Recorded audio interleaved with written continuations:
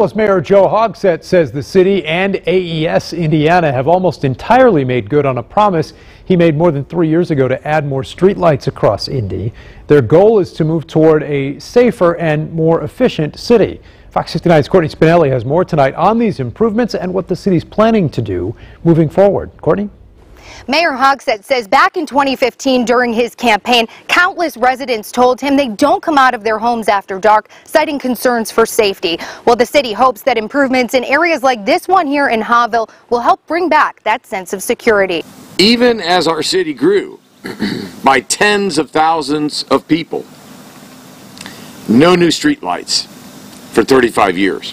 In 2016, Mayor Joe Hogsett promised to lift a decades-old moratorium. No streetlights have been installed in Indianapolis since 1981. When that ban was put in place, some areas eventually left in the shadows. Uh, as you know, Haughville's been in the dark for a while, and um, it's always nice to shed light on situations, and a neighborhood is no different. Haughville is one of the latest to see improvements put in place. Hogsett says he hopes the added lights help people feel safer. If you went around from house to house, you'd get varying degrees of, uh, uh of opinion about how safe this neighborhood is. The city says because LED lights use less energy and save money, they can then put the dollar saved towards buying even more lighting. Operation Nightlight has almost met its goal of adding LED lighting to nearly 27,000 fixtures, and a new promise to continue that effort was made Monday morning. So making some minor adjustments such as lighting I think will be beneficial. Sandra Jones with the Christamore House says she's glad to see the city investing in the Haughville area. We do have a senior citizen building across the street.